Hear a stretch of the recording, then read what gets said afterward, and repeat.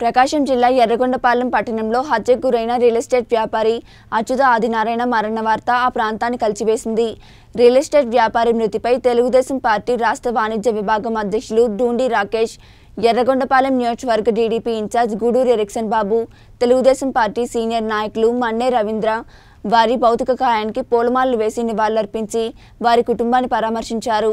ఈ కార్యక్రమంలో తెలుగుదేశం పార్టీ నాయకులు కార్యకర్తలు పాల్గొన్నారు.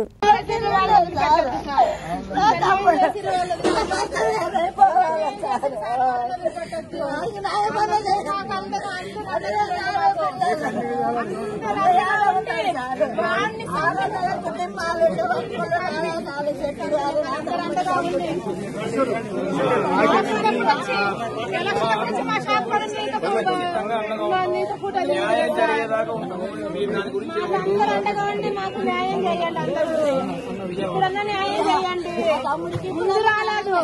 ఆయన చచ్చిపోయినాకన్నా వచ్చి న్యాయం చేయండి అందరూ. మాకెట్ట ముందు న్యాయం జరగలేదు. ఆయన ప్రాణం పోయినాకన్నా న్యాయం చేయండి. ఆయన ప్రాణం పోయినాకన్నా న్యాయం చేయండి సార్. ఆయన ప్రాణం పోయినాకన్నా మూడు రోజుల యాక్సిడెంట్ చేసి ఎవరు